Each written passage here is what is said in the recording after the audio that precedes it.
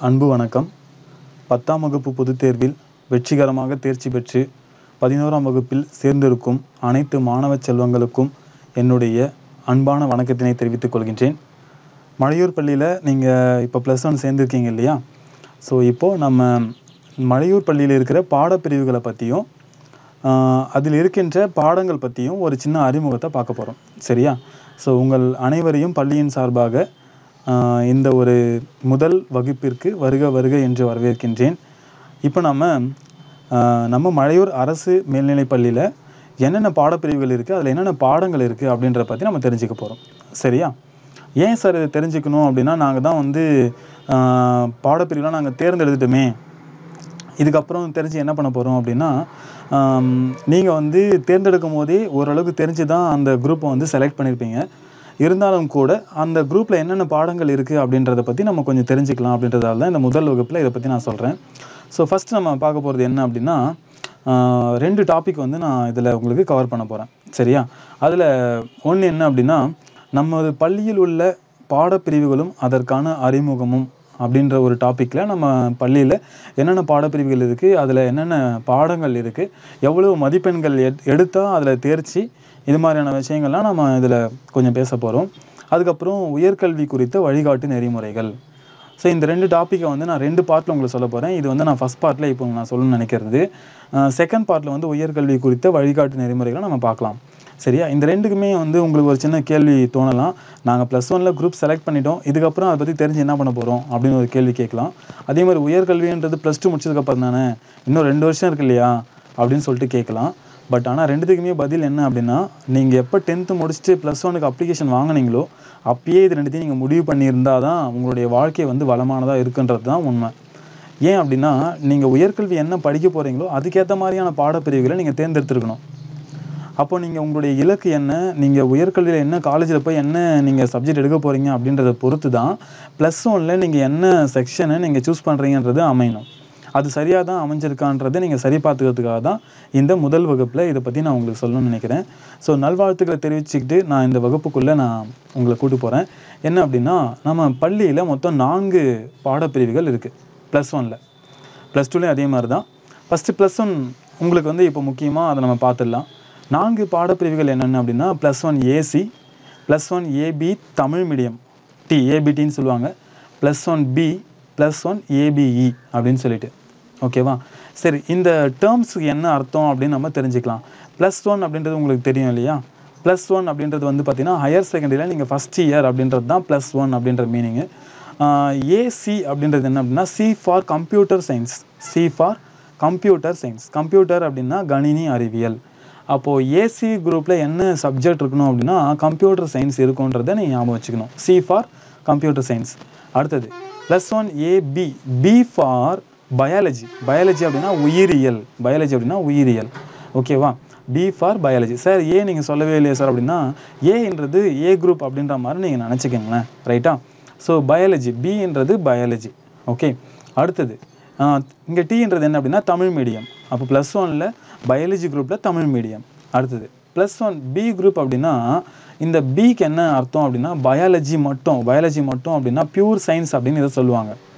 Pure science அப்படின்னா பயாலஜியில் என்னென்ன பிரிவுகள் இருக்கும்? தாவரவியல் விலங்கியல் இருக்கும் இல்லையா? அதை நீங்கள் தனித்தனியாக படிச்சீங்க அப்படின்னா அது plus one B group biology நீங்கள் தாவரவியலையும் விலங்கியலையும் உயிரியல் அப்படின்ற ஒரு அந்த ஒரே ஒரு பாடத்தில் நீங்கள் படிச்சீங்க அப்படின்னா அது plus one AB Tamil medium group சரியா? அடுத்தது ப்ளஸ் ஒன் ஏபி இங்கிலீஷ் மீடியம்ன்றது இதில் இருக்க எல்லா சப்ஜெக்ட்டும் அதிலே வரும். என்ன ஒன்று இங்கிலீஷ் மீடியமாக இருக்கும். ஓகே சரி இப்போது நான்கு பாடத்தொகுதிகள் இருக்குன்றதை நம்ம தெரிஞ்சுக்கிட்டோம் இல்லையா? Plus one AC group plus one ABT plus one B plus one ABE இதை ஷார்ட்டாக கம்ப்யூட்டர் சயின்ஸ் குரூப்னு சொல்லுவாங்க. இதை ஷார்ட்டாக பயோ மேத்ஸ்னு சொல்லுவாங்க. ஏபிடியை பயோ மேத்ஸ் பயோ மேத்ஸ்னால் பயாலஜி மேத்ஸ் இருக்கும் அப்படின்னு சொல்லிட்டு. பி குரூப் என்னன்னு சொல்லுவாங்க அப்படின்னா பியூர் சயின்ஸ் அப்படின்னு சொல்லிட்டு சொல்லுவாங்க. ரைட்டா இது வந்து இங்கிலீஷ் மீடியம் சரி இப்போ நான்கு பாடப்பிரிவுகளை தெரிஞ்சிட்டிங்க இல்லையா? ஒவ்வொன்றுத்துலையும் என்னென்ன சப்ஜெக்ட் இருக்குது அப்படின்றது நம்ம தெரிஞ்சுக்கலாம். இப்போ ஏசி குரூப் அப்படின்னு சொல்கிற கம்ப்யூட்டர் சயின்ஸ் குரூப்பில் என்னென்ன சப்ஜெக்ட் இருக்குது அப்படின்னா தமிழ் ஆங்கிலம் இயற்பியல் வேதியியல் கணக்கு கணினி அறிவியல். மொத்தம் எத்தனை பாருங்கள் மொத்தம் ஆறு இருக்கா? தமிழ் ஆங்கிலம் இயற்பியல் வேதியியல் கணக்கு கணினி அறிவியல். இந்த ஆறும் எந்த குரூப்பில் இருக்கும் அப்படின்னா கம்ப்யூட்டர் சயின்ஸில் இருக்கும். சரியா? இது உங்களுக்கு புரிஞ்சுதா? அடுத்தது ஏபி தமிழ் மீடியத்தில் என்னென்ன இருக்கும் அப்படின்னா தமிழ் ஆங்கிலம் இயற்பியல் வேதியியல் கணக்கு உயிரியல் இருக்கும். அப்போ ஏபி தமிழ் மீடியத்துக்கும் கம்ப்யூட்டர் சயின்ஸுக்கும் என்ன சார் வித்தியாசம் அப்படின்னா கம்ப்யூட்டர் சயின்ஸ் குரூப்பில் உங்களுக்கு கணினி அறிவியல் இருக்கும். இங்கே பயாலஜி குரூப்பில் கணினி அறிவியலுக்கு பதிலாக என்ன இருக்குது பாருங்கள் உயிரியல் இருக்குது ரைட்டா அடுத்தது பி குரூப் அதில் என்னென்ன இருக்கும் அப்படின்றத நம்ம தெரிஞ்சுக்கலாம். தமிழ் ஆங்கிலம் இயற்பியல் வேதியியல் தாவரவியல் விலங்கியல். அப்போது இங்கே என்ன இருக்குது எக்ஸ்ட்ரா இங்கே என்ன எக்ஸ்ட்ரான்னு சொல்ல முடியாது. பதிலாக என்ன இருக்குது அப்படின்னா கணக்குக்கு பதிலாக தாவரவியல் உயிரியலுக்கு பதிலாக விலங்கியல் இருக்குது ஓகேவா இது வந்து பி குரூப் அடுத்தது இங்கிலீஷ் மீடியம் குரூப்பில் என்னென்ன இருக்குது அப்படின்னா இதில் இருக்க எல்லாமே அப்படியே இருக்கும். பயாலஜி குரூப்பில் இருக்க எல்லாமே இருக்கும். இங்கிலீஷில் இருக்கும். தமிழ் இங்கிலீஷ் ஃபிசிக்ஸ்னால் இயற்பியல். அது உங்களுக்கு தெரிஞ்சிருக்கும். கெமிஸ்ட்ரி அப்படின்னா வேதியியல். மேத்ஸ் அப்படின்றது உங்களுக்கு தெரியும். கணக்கு பயாலஜின்றது உயிரியல். சரியா? இது எல்லாமே இங்கிலீஷில் இருந்தால் அது plus one AB English medium அப்போ நீங்கள் இது நல்லா எல்லாத்தையும் ஒத்து பார்த்தீங்க அப்படின்னா இந்த நாலு குரூப்லேயும் நாலு சப்ஜெக்ட் வந்து காமனாக இருக்கும். என்னென்னு சொல்ல முடியுமா? தமிழ் ஆங்கிலம் இயற்பியல் வேதியியல். இது எல்லாத்துலேயுமே காமனாக இருக்கும். அப்போ இந்த நாலு சப்ஜெக்ட் டீச்சர்ஸும் உங்கள் எல்லாருக்குமே வருவாங்க. சரியா? கம்ப்யூட்டர் சயின்ஸில் மட்டும் என்ன இருக்கும் அப்படின்னா கணக்கும் கணினி அறிவியலும் இருக்கும். எது இருக்காது அப்படின்னா உயிரியல் இருக்காது. உயிரியலோ தாவரவியலோ விலங்கியலோ இருக்காது. பயாலஜி குரூப்பில் என்னென்ன இருக்குது அப்படின்னா தமிழ் ஆங்கிலம் இயற்பியல் வேதியியல் கூட கணக்கு இருக்கும் உயிரியல் இருக்கும். சரியா? கணினி அறிவியல் இருக்காது உங்களுக்கு. ரைட்டா அடுத்தது பி குரூப்பில் வந்து பார்த்தீங்கன்னா கணக்கு இருக்காது. கணக்கு பாடம் இருக்காது. என்னென்ன இருக்கும் அப்படின்னா தமிழ் ஆங்கிலம் இயற்பியல் வேதியியல் அப்புறம் தாவரவியல் இருக்கும் அப்புறம் விலங்கியல் இருக்கும். சரியா? அடுத்தது இங்கிலீஷ் மீடியத்தில் என்னென்ன இருக்கும் அப்படின்னா Tamil English physics chemistry maths biology இது நாலும் இருக்கும். சரியா? இப்போ நான்கு பாடப்பிரிவுகளை நம்ம நல்லா தெரிஞ்சுக்கிட்டோம் இல்லையா?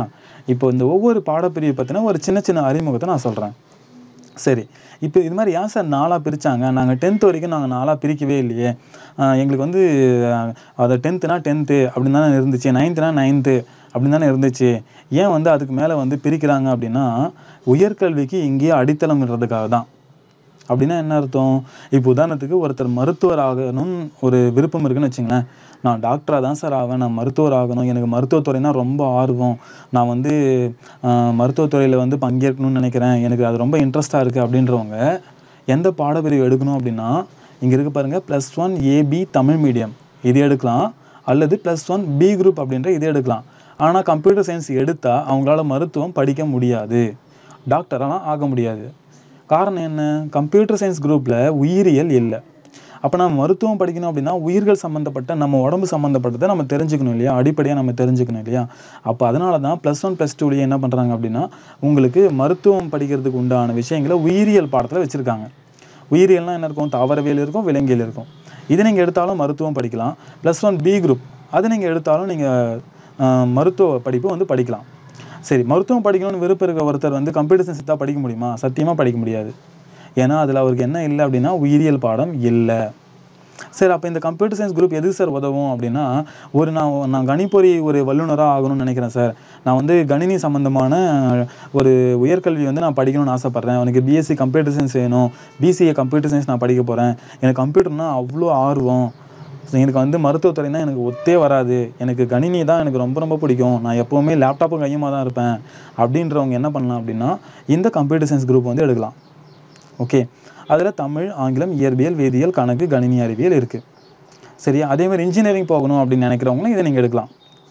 ஓகேவா சரி. அப்போ ஏபி தமிழ் மீடியம் குரூப் யார் சார் எடுக்கலாம் அப்படின்னா ஏபி தமிழ் மீடியம் குரூப் பொறுத்த வரைக்கும் எல்லாத்துக்குமே இது ஒரு காமனான குரூப் இது ஒரு பொதுவான group AB Tamil medium group எடுக்கிறவங்களால எந்த ஒரு உயர்கல்வியும் அவங்களால படிக்க முடியும். அவங்க வந்து ப்ளஸ் டூ முடிச்சதுக்கப்புறம் இப்போ மருத்துவம் படிக்கணும்னு நினச்சி இது எடுக்கிறாங்கன்னே வச்சுப்போம். ஆனால் அவங்க அடுத்தது வந்து ப்ளஸ் டூ முடிச்சதுக்கப்புறம் கம்ப்யூட்டர் சயின்ஸ் படிக்கணும்னு ஆர்வம் இருந்தால் கூட என்ன பண்ணலாம் தெரியுமா? கம்ப்யூட்டர் சயின்ஸ் எடுக்கலாம். பிஎஸ்சி கம்ப்யூட்டர் சயின்ஸ் எடுக்கலாம். உடனே நீங்கள் கேட்கலாம் சார் இல்லை கம்ப்யூட்டர் சயின்ஸே இல்லையே சார் அப்படி சார் எடுக்க முடியும்? அப்படின்னா எடுக்கலாம். அப்படி தான் நம்ம விதிமுறைகள் வகுக்கப்பட்டிருக்கு. இதான் அதனால தான் இது காமன் குரூப்னு சொல்கிறாங்க ப்ளஸ் ஒன் ஏபிடி நீங்கள் எடுத்துட்டீங்க அப்படின்னா உங்களால் வந்து எந்த ஒரு துறைக்கும் போகிறதுக்கு ஒரு பொதுவான ஒரு குரூப் இது. எந்த ஒரு குரூப் எந்த ஒரு காலேஜில் நீங்கள் எந்த ஒரு கோர்ஸ் சொன்னாலும் நீங்கள் எடுக்கலாம். அதுக்கு உண்டான எலிஜிபிளான குரூப் வந்து plus one AB Tamil medium ஓகேவா இது படிக்கிறவங்களுக்கு எல்லா வாய்ப்புகளுமே இருக்குது சரியா? ரைட் அடுத்தது. ப்ளஸ் ஒன் பி குரூப் பற்றி நான் சொல்கிறேன் பாருங்களேன். ப்ளஸ் ஒன் பி குரூப்பில் என்ன இருக்குது அப்படின்னா தமிழ் ஆங்கிலம் இயற்பியல் வேதியியல் தாவரவியல் விலங்கியல். எது இதில் இல்லை அப்படின்னா முக்கியமான ஒரு பாடம் வந்து கணக்கு வந்து கிடையாது. அப்போ இதை இந்த குரூப் எடுக்கிறவங்களால கண்டிப்பாக கணிப்பொறி சம்மந்தமாகவோ பொறியியல் சம்மந்தமாகவோ அறிவியல் அறிஞர் சம்மந்தமாகவோ சயின்டிஸ்ட்னு சொல்கிறேன் இல்லையா அது மாதிரியான கோர்ஸஸ் எடுத்து படிக்கவே முடியாது. அறிவியல் அறிஞர்னா இந்த இயற்பியல் வேதியியல் சம்மந்தமானது எடுக்கலாம். ஒரு இன்ஜினியரிங்கில் அது மாதிரியான ஒரு பொறியியல் துறையில் வந்து நீங்கள் போகணும் அப்படின்னு நினச்சிங்கன்னா பி குரூப் எடுத்தவங்களால போக முடியாது. சரியா? அப்போது இது யாருக்கான ஒரு குரூப்பாக இருக்குது அப்படின்னா மருத்துவம் சம்மந்தப்பட்டதாகவும் துணை மருத்துவ படிப்புகள் சம்மந்தப்பட்ட தாவரம் சம்மந்தப்பட்ட படிப்புகளை வந்து இது மாதிரியான இந்த குரூப்பில் படிக்கிற ஸ்டூடெண்ட்ஸ் வந்து படிக்கலாம். உயர்கல்வி வந்து படிக்கலாம். ஓகேவா அப்போது இந்த இது வரைக்கும் நான் மூணு குரூப் சொல்லியிருக்கேன். நாலாவது குரூப் என்ன அப்படின்னா இங்கிலீஷ் மீடியம் அப்போது plus one AB Tamil medium மாதிரி தான் plus one AB English medium medium மட்டும் தான் மாறுது. இது தமிழ் வழி இது ஆங்கில வழி. அப்போ நான் என்ன சொல்கிறேன் அப்படின்னா இந்த நாலு குரூப்பில் plus one AB Tamil medium plus one AB English medium common group உயர்கல்விக்கு அவங்களால வந்து எந்த ஒரு துறைக்கும் அவங்களால போக முடியும். சரியா? ஆனால் ப்ளஸ் ஒன் பி குரூப்பில் இருக்கும் கணக்கு இல்லைன்றதால கணக்கு சம்மந்தமான உயர்கல்விகளில் அவங்களால போக முடியாது. அதே மாதிரி ப்ளஸ் ஒன் ஏசி குரூப்பில் உயிரியல் கிடையாது அப்படின்றதால அவங்களால மருத்துவம் சம்மந்தப்பட்ட அல்லது உயிரியல் சம்மந்தப்பட்ட துறைகளுக்கு அவங்களால வந்து போக முடியாது. சரியா? அப்போது இப்பயே நீங்கள் வந்து ஃபிக்ஸ் பண்ணி தான் இந்த குரூப் எல்லாம் எடுத்திருப்பீங்க. அப்போது அந்த அந்த செலெக்ஷன் பண்ணது நீங்கள் கரெக்டான்றதை நீங்கள் இப்பயே சரி பார்த்துக்கணும். ஏன்னா இப்போ நீங்கள் வந்து உயர்கல்விக்கு அடித்தளத்தை இங்கேயே நீங்கள் வந்து இட்டால் தான் அதுக்கேற்ற மாதிரி உங்களுக்கு காலேஜ் லைஃப் வந்து நல்லா அமையும். சரியா? ஸோ இப்போ நாலு குரூப் பற்றி நான் சொல்லிட்டேன் இல்லையா? மொத்தம் எவ்வளோ மார்க்ஸ் சார் நமக்கு ப்ளஸ் ஒனில் அப்படின்னு சொல்லிட்டு நம்ம அடுத்தது பார்க்க போகிறோம் மொத்தம் எத்தனை பாடம் இருக்குன்னு நம்ம பார்த்தோம்? ஆறு பாடங்கள் இருக்கு இல்லையா? ஒவ்வொரு பாடத்துக்கும் நூறு நூறு மதிப்பெண். மொத்தம் ஆறுநூறு மதிப்பெண். ப்ளஸ் ஒனில் எல்லா குரூப்புக்குமே ஆறுநூறு மதிப்பெண்களுக்கு உங்களுக்கு பாடங்கள் இருக்கும். அதே மாதிரி ப்ளஸ் டூலேயும் ஆறுநூறு மதிப்பெண்களுக்கு பாடங்கள் இருக்கும். மொத்தமாக பார்த்தீங்கன்னா ஆயிரத்தி இரநூறு வரும். சரியா? ஓகே இப்போ இந்த ஆறுநூறு மார்க்கில் ஒவ்வொரு சப்ஜெக்ட்டுக்கும் நூறு நூறு மார்க் போயிடுச்சுன்னு நான் சொன்னேன் இல்லையா? எவ்வளோ மார்க் எடுத்தால் பாஸு அப்படின்றது தான் இப்போ நான் பார்க்க போகிறோம் எவ்வளோ மார்க் எடுத்தால் பாஸு அப்படின்றத பற்றி நம்ம பார்க்க போகிறோம் தமிழில் வந்து இருபத்தஞ்சி மார்க் எடுக்கணும். ஆங்கிலத்தில் இருபத்தஞ்சி மார்க் எடுக்கணும். பாஸ் பண்ணுறதுக்கு நான் சொல்கிறேன் சரியா? நூறு மார்க்கில் இருபத்தஞ்சி மார்க் எடுத்தால் நீங்கள் பாஸு இது நான் சொல்கிறது எல்லாமே தேரி ஓகேவா இது வந்து ரெண்டாக பிரிவு பண்ணாமல் நான் உங்களுக்கு அப்புறமா நான் உதவியாக சொல்ல போகிறேன் ஒவ்வொரு சப்ஜெக்ட்டையும் என்ன பண்ணுவாங்க அப்படின்னா தேரி ப்ளஸ் ப்ராக்டிக்கல்னு சொல்லிட்டு ரெண்டாக பிரிப்பாங்க. நீங்கள் டென்த்தில் சயின்ஸில் நீங்கள் பண்ணீங்க இல்லையா? தேரி மார்க்குக்கு தேரி வந்து ஒரு செவன்ட்டி ஃபைவ் இதுக்கு வந்து ஒரு டுவெண்ட்டி ஃபைவ் சொல்லிட்டு seventy twenty five seventy five twenty five சொல்லிட்டு பிரிச்சிங்க இல்லையா ப்ராக்டிக்கலுக்கு அதே மாதிரி இங்கே ஒவ்வொரு சப்ஜெக்ட்டுக்கும் தேரி இருக்குது ப்ராக்டிக்கல் இருக்குது இப்போ தேரியில் மட்டும் எவ்வளோ மார்க் எடுத்தால் பாஸ்ன்றது நாங்கள் போட்டிருக்கேன். சரி சார் காமனாக எனக்கு மொத்தமாக சொல்லுங்கள் சார். நூறு மார்க் எவ்வளோ மார்க் எடுத்தால் பாஸ் சார் அப்படின்னா முப்பத்தஞ்சு மார்க் எடுத்தால் பாஸ் அவ்வளோதான் சரியா? முப்பத்தஞ்சு மார்க்கில் முப்பது மார்க் எடுத்தால் பாஸ் நான் வந்து மாற்றி சொல்லிட்டேன். ஓகே ரைட் இப்போ வந்து ஒவ்வொன்றா நம்ம பார்க்கலாமே. ரைட்டா இப்போ இங்கே பாருங்கள் ஸோ இப்போ தமிழில் வந்து இருபத்தஞ்சி மார்க் வந்து எடுக்கிறாங்கன்னு வச்சுங்களேன் தேரியில் அவங்க பாஸு அதேமாதிரி ஆங்கிலத்தில் வந்து இருபத்தஞ்சி மார்க் எடுத்தாங்கன்னா அவங்க பாஸு இயற்பியல் எவ்வளோ மார்க் எடுக்கணும் தேரியில் அப்படின்னா பதினஞ்சு மார்க் எடுத்தால் பாஸு சரியா? எழுபது மார்க்குக்கு பதினஞ்சு மார்க் வரும். ஓகே நான் உங்களுக்கு இன்னும் போக போக நான் இன்னும் தெளிவாக சொல்கிறேன் ஒவ்வொரு சப்ஜெக்ட்டையும் வந்து நம்ம ப்ராக்டிக்கல் தனியாகவும் தேரி தனியாகவும் நம்ம பிரிப்போம். சரியா? ப்ராக்டிக்கல் வந்து ஒரு குறிப்பிட்ட மார்க்கும் தேரிக்கு வந்து ஒரு குறிப்பிட்ட மார்க்கும் பிரியும். உதாரணத்துக்கு கெமிஸ்ட்ரி எடுத்துட்டீங்க அப்படின்னா எழுபது மார்க் வந்து பார்த்தீங்கன்னா தேரிக்கு போயிடும். தேரினா வந்து நீங்கள் எக்ஸாமில் போய் எழுதுறீங்க இல்லையா? படித்து எழுதுறீங்க இல்லையா? அது வந்து எழுபது மார்க்கு. முப்பது மார்க் எதுக்கு அப்படின்னா ப்ராக்டிக்கலுக்கு போயிடும். சரியா? ஸோ அப்போது முப்பத்தஞ்சு மார்க் வந்து எப்படி வரப்போகுது அப்படின்றது தான் இப்போ நான் சொல்கிறேன் பாருங்களேன். ரைட்டா அப்போ இயற்பியலில் பதினஞ்சு மார்க்கு வேதியியலில் பதினஞ்சு மார்க் எடுத்தால் நீங்கள் பாஸு அப்புறம் கணக்கில் வந்து பார்த்தீங்கன்னா இருபத்தஞ்சி மதிப்பெண்கள் எடுத்தால் நீங்கள் பாஸு ஓகே கணினி அறிவியலில் பதினஞ்சு மார்க் எடுத்தால் நீங்கள் பாஸு புரியுதா? ஸோ இதுதான் வந்து கான்செப்ட்டு இது மாதிரி தான் வந்து ஒவ்வொரு குரூப்புக்கும் நம்ம வந்து பிரிக்கலாம். ரைட்டா அதே மாதிரி உயிரியலில் வந்து பார்த்தீங்கன்னா வந்து பதினஞ்சு மார்க் நீங்கள் எடுக்கணும். ஓகே ஸோ இதெல்லாமே நம்ம காமனாக வந்து ஒவ்வொரு சப்ஜெக்ட்டுக்கும் இங்கே சொல்லிட்டோம். இது நான் இன்னும் மேற்கொண்டு நீங்கள் கிளாஸில் வரும்போது நான் சொல்கிறேன் எப்படி வந்து ப்ராக்டிக்கல் தனியாகவும் எப்படி வந்து தேரி தனியாகவும் பிரியும் அப்படின்றத நான் சொல்கிறேன் ஓகே ஸோ அப்போ இது வரைக்கும் நம்ம என்னென்ன பார்த்துருக்கோம் அப்படின்னா நம்ம பள்ளியில் என்னென்ன பாடப்பிரிவுகள் இருக்குது அப்படின்றதையும் அந்த பாடப்பிரிவுகளில் என்னென்ன பாடங்கள் இருக்குது அப்படின்றதையும் பார்த்துட்டோம். அதில் எவ்வளோ மதிப்பெண்கள் எடுத்தால் பாஸ் அப்படின்றதையும் பார்த்துட்டோம். ஓகே ஸோ இதுக்கப்புறம் தான் நம்ம உயர்கல்வி சம்பந்தமான கருத்துக்களுக்கு போக போகிறோம் அப்போது ஏற்கனவே நான் சொன்ன மாதிரி இந்த நான்கு பாடப்பிரிவுகள் அடிப்படையில் தான் உங்களுடைய உயர்கல்வி தீர்மானிக்கப்படுகின்றது. உங்களுடைய காலேஜ் லைஃப் வந்து இதை வச்சு தான் தீர்மானிக்கப்படுது. ரைட்டா அப்போது நீங்கள் உங்களுடைய எய்ம் என்ன உங்களுடைய இலக்கு என்ன உங்களுடைய இதில் இன்ட்ரெஸ்ட் அப்படின்றத பார்த்துட்டு இந்த குரூப் நீங்கள் செலக்ட் பண்ணியிருந்தீங்கன்னா ரொம்ப நல்லது. சரியா? உங்களுக்குன்னு ஒரு இலக்கு இருக்கும் உங்களுக்குன்னு ஒரு எய்ம் இருக்கும். அப்படின்னா என்னென்னு எனக்கு தெரியாது சார் அப்படின்றவங்க கவலைப்படாதீங்க. கண்டிப்பாக உங்களை அறியாமையே உங்களுக்கு ஏதாவது ஒரு விஷயத்து மேலே இன்ட்ரெஸ்ட் இருக்கும். சரியா? அந்த என்னன்றதை கண்டுபிடிச்சி அது அதை நோக்கி உங்களுடைய உயர்கல்வி நீங்கள் தீர்மானிச்சுட்டு இந்த குரூப் நீங்கள் எடுத்தீங்க அப்படின்னா உண்மையாகவே உங்களுக்கு ரெண்டு வருஷம் வந்து சுமையாக தெரியாது சுகமாக தான் தெரியும். ஓகே ஸோ இது வரைக்கும் ஒரு சின்ன அறிமுகத்தை நான் கொடுத்துருக்கேன். இதுக்கப்புறம் அடுத்தடுத்த வகுப்புகளில் நான் உங்களுக்கு தெளிவான விளக்கங்களை சொல்கிறேன் இன்றைய வகுப்பில் பங்கேற்ற இதை பார்த்த அனைவருக்கும் நான் நன்றியை சொல்லிக்கிறேன். இதே மாதிரி ஒவ்வொரு வகுப்புலையும் நம்ம என்னென்ன சொல்கிறோமோ அது எல்லாத்தையும் நீங்கள் ஒரு முறை ஞாபகப்படுத்தி பாருங்கள் இதுக்கப்புறம் பாடக்கருத்துக்கள் சம்மந்தமானது வரும்போது அப்படின்னா அன்னன்னைக்கு அப்படியே நீங்கள் படிச்சிருங்க. படிச்சுட்டு அதை டெஸ்ட்டாக எழுதி நீங்கள் வாட்ஸ்அப்பில் அமிச்சிங்க அப்படின்னா அதுக்கப்புறமா நான் உங்களுக்கு ரிப்ளை பண்ணுறேன் சரியா? ஓகே பார்த்த அனைவருக்கும் ரொம்ப நன்றி. வணக்கம்.